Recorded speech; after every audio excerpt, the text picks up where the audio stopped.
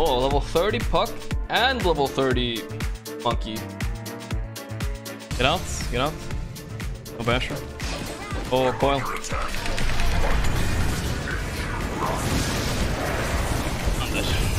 Oh my god.